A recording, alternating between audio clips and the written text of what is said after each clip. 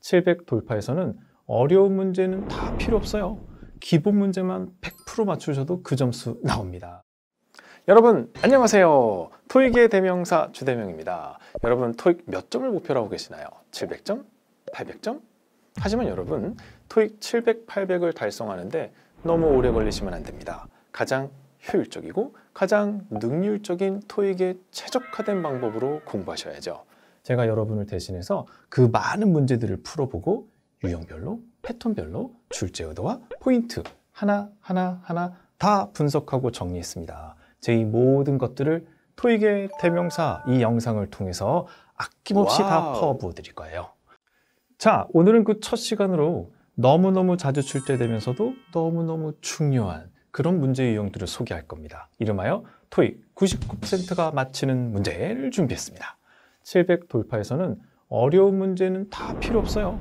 기본 문제만 100% 맞추셔도 그 점수 나옵니다. 자, 그럼 토익 99%가 맞추는 문제 오늘 그 첫 번째 유형을 만나보시겠습니다. 토익의 대명사 99%가 맞추는 문제 조동사 뒤 동사원형 눈은 뜨고 있냐?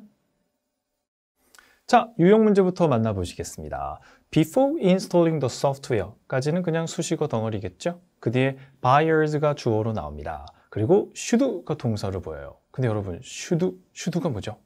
네, should는 조동사라고 불리는 녀석입니다. 여기서 조동사에 대한 얘기를 조금 하고 가겠습니다. 조동사라는 녀석은 기본적으로 조동사 자체가 완전한 동사로 쓰이지는 않아요. 조동사 자체는 그냥 도와주는 아이죠. 조동사에는 여러분이 아시는 것처럼 do, does, can, should, must 이런 아이들이 조동사로 들어갑니다. 그 조동사에는 반드시 뒤에 동사 원형이 와야 됩니다. 동사 원형은 do, be 또는 경우에 따라 be던, have던 이런 것들이 조동사 뒤에 동사 원형. 조동사와 동사 원형은 하나의 세트로 같이 움직인다. 이렇게 생각하시면 돼요. 그럼 우리 좀 전에 그 문제 다시 보세요. 이 문제 같은 경우는 should 뒤에 빈칸이죠. 결국 should 뒤니까 뭐가 와야 돼요? 동사 원형이 와야 됩니다. 따라서 이 문제는 보기 중에서 동사 원형이 누군지만 고르시면 되는 그런 문제가 되겠어요. 그래서 리뷰 정답으로 고르시면 되겠네요. 근데 이 간단한 문제가 1년에 여러 번, 최소 3, 4번 이상 출제가 되고 있어요. 여러분께서는 이 문제는 꼭 정답으로 연결해서 여러분의 점수의 베이스가 될 수 있게 해 주셔야 됩니다. 자, 유형에 대한 정리가 됐으면 여기서 제가 응용할 수 있게 몇 문제 준비를 해봤습니다. 자, 연습 문제 같이 한번 볼게요. 음. 자, 연습 문제. The meeting was postpone까지 주어, 그리고 동사 뒤에 보호까지 완전한 덩어리로 끝났어요. 항상 덩어리가 끝나면 사선을 딱 그어주세요. 그리고 나서 뒤에 because the Mr. Kim 주어가 나가고 있죠. 주어 뒤에 the keynote speaker는 그냥 주어를 설명하는 부분이기 때문에 이건 없어도 상관없어요. 그 뒤에 동사 부분이 또 didn't예요. 여러분이 보시는 것처럼 didn't는 조동사입니다. 그럼 얘도 조동사니까 뒤에는 당연히 동사 원형이 와줘야겠죠. 그럼 보기 중에 누가 동사 원형인가요? 네, arrive, 그죠? 그래서 arrive가 동사 원형이니까 이거 정답으로 고르시면 되는 의외로 간단한 문제였습니다. 그런데 여기에는 한 가지 함정이 있었어요. 굉장히 많은 학생들이 arrived를 골랐다라는 거죠. 왜 이걸 골랐을까요? 그래서 학생들이 물어봤어요. 왜 arrived를 골랐어요? 그러니까 아니 didn't가 과거잖아요. 과거는 arrived 아닌가요? 아, 이런 상황이 연출되더군요. 그래서 과거 시제니까 과거 시제 B를 골랐다. 자, 이 대답을 실전반 학생이 했어요. 900을 목표로 하는 친구가. 자, 제 얘기는 뭐냐면 뭔가 시험장에서는 어떤 식으로든 착각을 할 수 있다라는 얘기입니다. didn't가 과거를 나타내니까 과거 시제를 골랐다. 이런 엉뚱한 상황이 생길 수 있는 거죠. 모든 조동사 뒤에는 뭐가 온다? 동사 원형. 그죠? 조동사 뒤에는 항상 동사 원형을 골라야 된다는 사실을 잊지 마시기 바랍니다. 제가 또 연습할 수 있게 하나 더 준비한 문제가 있습니다. 두 번째 연습 문제를 한번 보시죠. 음. 자, 이 문제는 Your hacker's coffee dripper가 주어입니다. 그리고 must 동사 부분이 보이고 있죠. 여기 나오는 동사 must도 역시 조동사. 그럼 당연히 뒤에는 뭐가 와야 돼요? 동사 원형이 와야 되죠. 그래서 이 자리가 동사 원형 자리구나 라는 건 쉽게 파악할 수 있어요. 그리고 보기를 딱 보면 어 동사 원형 clean이 눈에 쏙 들어와요. 그리고 학생들이 이걸 덥석 답으로 고릅니다. 이거 조심하셔야 돼요. 제가 아까 분명히 동사 원형에 대해서 설명을 드렸을 때 뭐라고 했죠? 조동사 뒤에 동사 원형이 오는데 동사 원형은 do의 형태만 있는 게 아니에요. have done 같은 이런 형태도 이런 형태도 다 동사 원형의 카테고리에 들어갑니다. 따라서 여러분은 done, have done을 다 고려하셔야 돼요. 대부분 학생들이 조동사 뒤에는 무조건 do 고르고 헤헤헤 하시는데 이거 아주 위험합니다. 그래서 조동사 뒤에는 동사 원형 do가 제일 답으로 많이 나오긴 해요. do도 있지만 done도 고려하셔야 돼요. 스님, 아까 done도 어, 잘안 나옵니다. done은 거의 출제되는 경우가 없어요. 그래서 우리 입장에서는 done하고 do, 이 두 개는 구분을 꼭 해주셔야 돼요. 여러분, done하고 do의 구분은 뭐의 구분인가요? 그렇죠. 태의 구분입니다. 그래서 이 문제는 조동사 뒤에 동사 원형을 고르는 문제 플러스 태에 대한 구분이 같이 결합된 그런 문제였다고 보시면 되겠어요. 자, 주어가 coffee dripper였죠? coffee dripper는 지가 clean 하는 게 아니라 be cleaned 되는 거니까 정답은 be cleaned로 처리해 주셔야 됩니다. 그래서 수동으로 가면서 당연히 원형, 동사 원형, clean 등등은 함정이 됐던 문제입니다. 자, 다시 한번 정리합시다. 조동사 뒤의 밑줄은 무조건 do 아니라는 거죠. Do도 있고 done도 있다는 거. 그러나 너무 걱정하지는 마세요. 조동사 뒤에 do가 정답으로 나오는 게 거의 90% 이상입니다. 제가 얘기하는 건 100%는 아니란 얘기예요. 그래서 done이 답이 될 때 엄청나게 많은 학생들이 틀리기 때문에 이 부분 한번 조심하시라는 말씀을 꼭 드리고 싶습니다. 자, 넘어가시죠. 99%가 맞추는 문제, 부사 자리 문제입니다. 매회 두 문제 이상 출제되고요. 초초 빈출입니다. 자, 유형부터 만나보겠습니다. 데이먼주의 latest novel은 is based on something 하고 있다. 지금 문장 구조 보시면 novel 주어 있고요. 그리고 뒤에 동사, 그리고 based가 the novel is based로 이어지고 있어요. 이 밑줄은 도대체 뭐 하는 자리일까요? 이 안에 뭘 넣으면 좋을까? 자, 이 문장을 한번 제가 밑줄 없이도 한번 붙여볼게요. The novel is based on something. 오, 바로 이어지죠?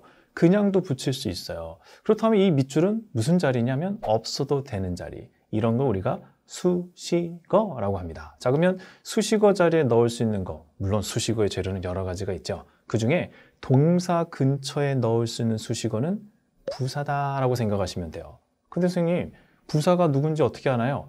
부사는 기본적으로 일반적인 형용사에다가 ly를 붙여서 부사로 만들었어요. 그래서 보기를 슬쩍 보시면 부사처럼 생긴 녀석은 금방 발견할 수가 있습니다. 그래서 부사 자리에 수식어 자리에 부사를 고르는 아주 간단한 문제입니다. 이거 제가 정리 한번 살짝 해드릴게요. 음. 자, 부사 자리다라는 걸 알 수 있는 거. 지금 여러분이 보시는 것처럼 문장에서 딱히 할 일이 없으면 부사 자리입니다. 어, 완전한 절 뒤에도 부사 자리죠. 할 말이 끝났으면 그 뒤에는 부사 말고는 올 게 없으니까요. 특히 여러분이 시험장에 가시면 부사 자리로 굉장히 자주 볼 수 있는 게 이 여섯 가지예요. be와 doing, be와 done, have와 done 사이, 그리고 자동사하고 전사 사이, 그리고 can과 do 사이, 그리고 to와 do 사이는 그냥 부사 고르시면 돼요. 이 동사 앞뒤로 샌드위치가 되어 있는 이 자리는 그냥 부사가 너무너무 행복해하는 자리죠. 그래서 이런 식으로 구성되어 있는 문제에서는 부사는 3초 만에 고르셔도 됩니다. 그래서 100% 부사가 guarantee 되는 자리이기 때문에 그래서 부사를 고르는 문제에 대해서는 이런 기준을 가지고 여러분이 연습하시면 돼요.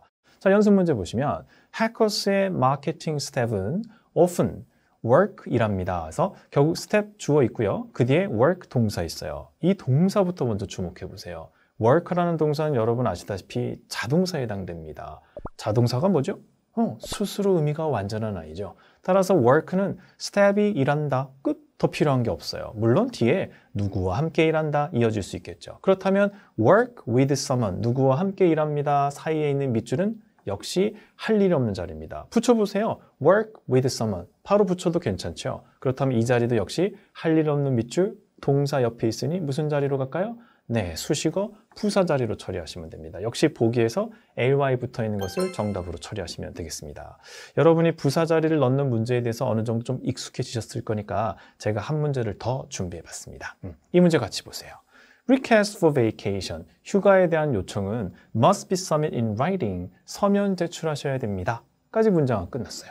자, 일단 문장이 끝나면 항상 문장에서 주어에다가 s, 그리고 동사에다가 v, 그리고 필요하면 보고 체크해 주시고, 그리고 할 말이 끝나면 늘 사선을 끊는 걸 늘 습관을 들여주세요.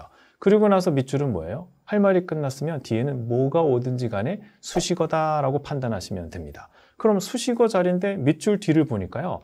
At least two weeks in advance two weeks in advance도 2주 미리로 이 자체가 또 수식어 덩어리예요.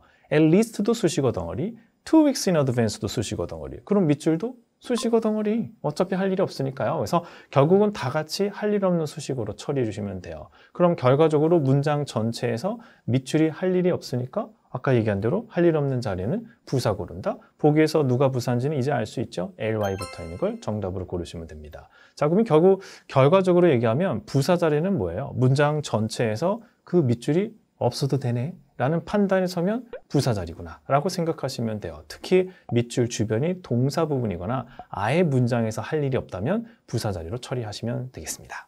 자, 넘어가시죠. 99%가 맞추는 문제, 전치사 대 접속사, 구화절에 대한 구분. 여러분, 이 문제 유형부터 한번 같이 볼게요.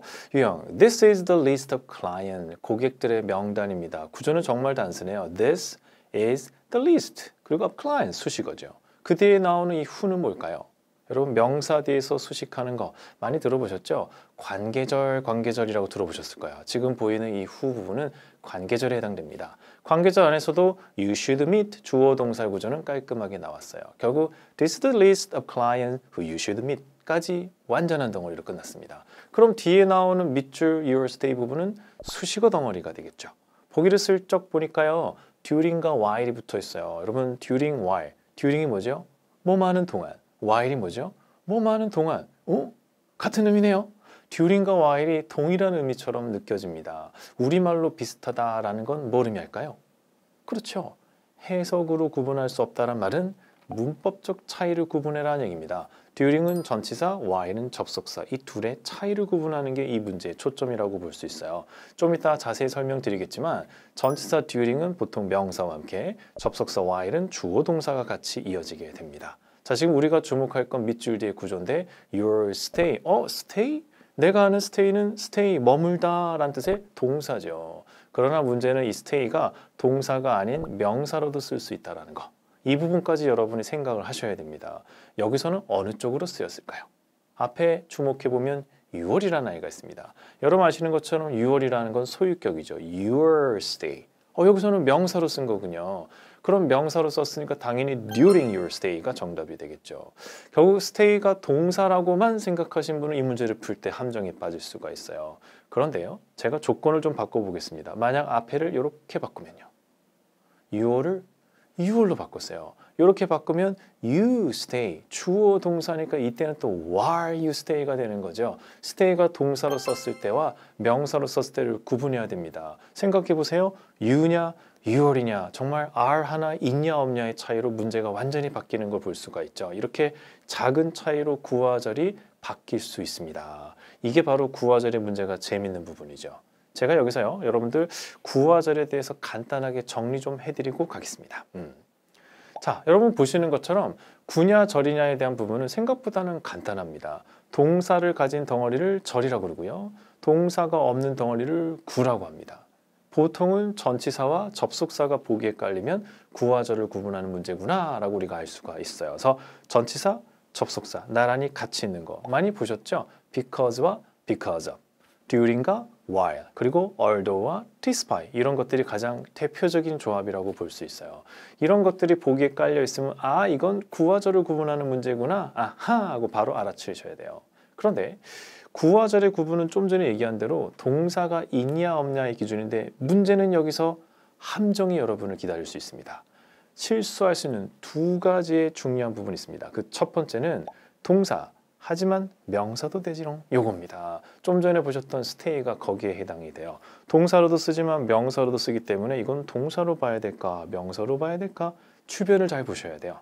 그죠? 동사 뒤에 목적어가 나오면 이건 동사로 보셔야 되겠고 앞에 your 같은 이런 게 보이면 명사로 보셔야 되니까요. 첫 번째로 여러분이 주목하시고 조심해야 되는 건 동사, 명사 다 되는 어휘들입니다. 많아요. 좀 전에 봤던 우리 금방 본거 stay 말고도 visit, need, want라든지 supply, purchase, demand, offer 뭐 굉장히 많은 것들이 동사, 명사 양쪽으로 쓰입니다. 다 조심해야 되는 것들이죠. 두 번째로 여러분이 조심해야 되는 건 바로 규칙 변화 동사입니다. 규칙 변화 동사는 like, liked, liked 똑같은 형태를 취하고 있어요. 음. 즉 과거 시제의 동사하고 과거 분사하고 형태가 같다는 얘기입니다. 이 두 개의 동일한 형태를 구분하는 것이 좀 어렵게 느껴질 수가 있습니다. 이 경우도 마찬가지 문장의 전체적인 구조, 타동사의 목적어는 있는지 이런 것들을 다 살펴서 판단하셔야 돼요. 제가 이거와 관련된 문제는 연습 문제를 통해서 여러분하고 같이 살펴볼게요. 연습 문제 같이 보시겠습니다. 자, 연습 문제. 연습 문제 A board of director들은 approve 했습니다. The renovation을. 역시 구조는 주어, 동사, 목적어의 구조로 단순한 구조예요. 그럼 당연히 뒤에는 이제는 수식어 덩어리가 오는 거죠. 보기를 슬쩍 보니까 어때요? despite하고 although. 어, 많이 보던 조합이야. 그렇죠? 전치사하고 접속사가 같이 깔려 있습니다. 구와 저를 구분하는 문제구나 라고 바로 판단하셔야 돼요. 그럼 뒤에 구조를 보죠. The high cost, 어, 명사, 주어 같은 거. 그리고 이 주어? Would require? 가만 이 문제 이상하다. 동사가 있으니까 철인 것 같긴 한데 근데 왜 주어가 두 개지? 이상하게 느껴질 수가 있습니다. 여러분 혹시 중학교 때 공부할 때요. 목적격 관계대명사는 생략할 수 있다라는 얘기를 들은 적 있나요? 네, 바로 그 부분입니다. 우리가 문법적인 이론만 알고 있으면 그건 아무런 소용이 없어요. 바로 문장 구조를 분석할 때 적용할 수 있어야 됩니다. 여기서는 바로 목적격 관계대명사 which가 생략됐습니다. 따라서 the high cost 뒤에 which it would require 이라는 구조가 수식어 덩어리가 되는 거죠. 그럼 이 수식어 덩어리를 배제하면 그렇습니다. 명사 혼자 똥 남는 거예요.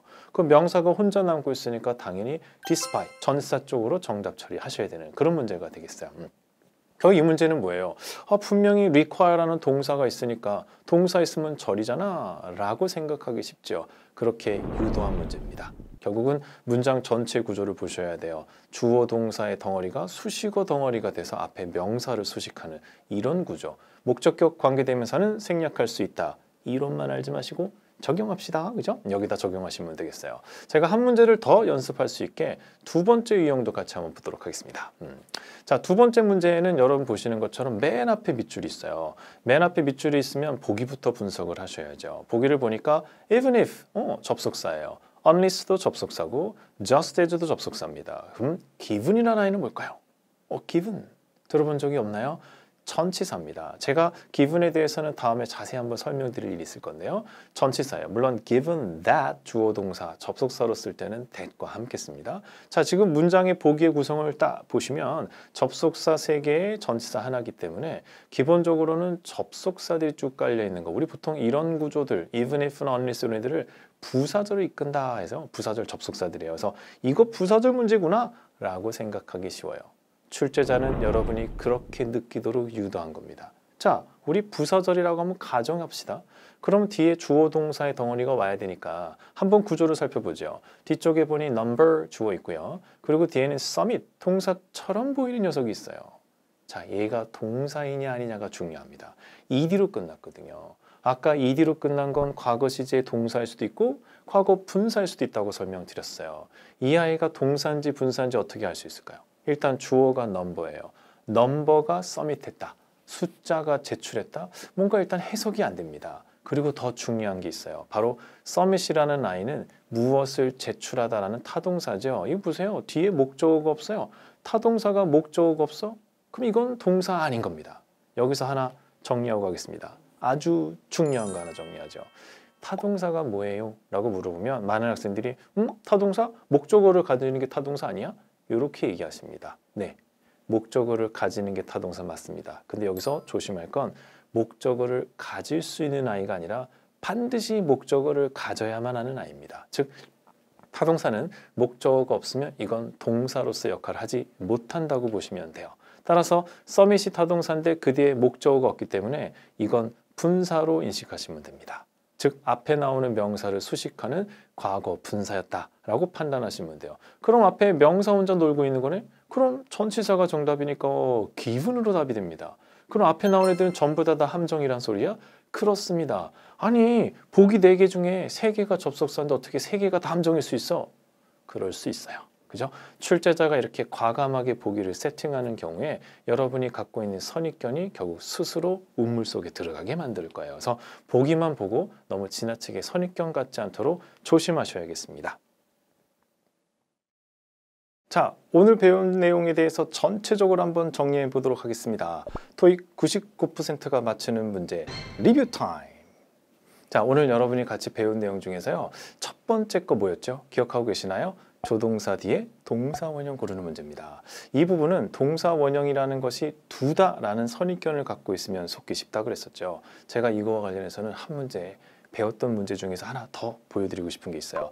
두 번째 문제 유형이었는데 이거 아주 중요했었죠.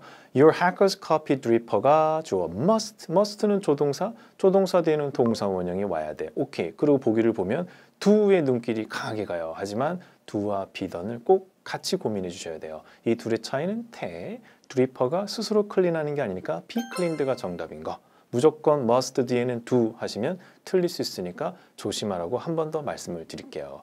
자, 오늘 배운 내용 중에서 두 번째 부분은 뭐였나요? 바로 부사 자리 문제였습니다. 부사 자리 문제 어디에 부사 자리였죠? be와 doing, be와 done, have와 done, 그리고 자동사와 전치사, 그리고 can과 do, to부정사에서 to와 do 사이 여섯 개 부분 다시 한번 정리해 두세요. 매달 두 문제 이상 나오니까요. 꼭 점수를 연결해 주셔야 됩니다. 자, 오늘 99%가 맞히는 문제 배운 거 세 번째 부분 바로 전치사와 접속사의 구분이었습니다. 이름하여 구와 절에 대한 구분이었죠.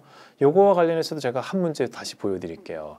두 번째 연습 문제였는데요. 맨 앞에 밑줄이었고 접속사가 세 개나 깔려 있었어요. 그렇다고 해서 이게 접속사 문제다라는 선입견 가지면 안 된다 그랬습니다. 물론 보기만 보면 접속사가 세 개니까 어, 부사절 문제네 라고 생각할 수 있어요. 그리고 얼핏 보면 주어 동사처럼 보이는 것도 있었으니까. 하지만 서밋이라는 아이는 동사처럼 보여도 타동사인데 목적어가 없기 때문에 뭐예요? 목적어 없으면 뭐로 처리하라 그랬죠? 바로 분사로 처리하는 거. 그래서 이거는 과거 분사였기 때문에 명사 혼자 놀고 있으니까 오히려 정답은 기분, 전치사가 정답이 되는 문제였습니다. 그래서 이 문제에 대해서도 한 번 더 제가 짚고 가시라고 꼭 말씀드리고 싶습니다.